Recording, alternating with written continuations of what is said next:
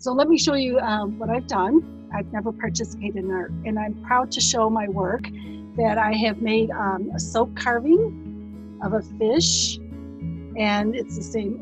It, it's after one of the artists that we learned about, Elijah Pierce.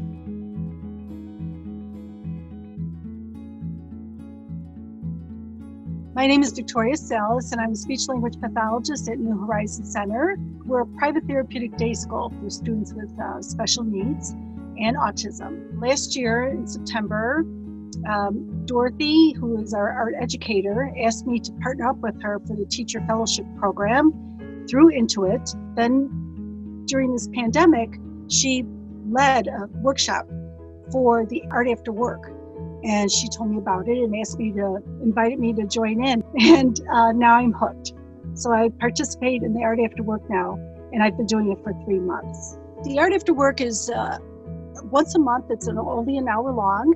Uh, different presenters um, lead the, the workshop. They provide an education from an outsider artist point of view. And then it's fun to see at the end people who have taken the tools and the instructions from the presenter and come up with different interpretations. When I first went to Intuit and introduced myself, I said my idea for art within the speech therapy session was to have a lot of cut out little pieces, and gluing was my art for the students.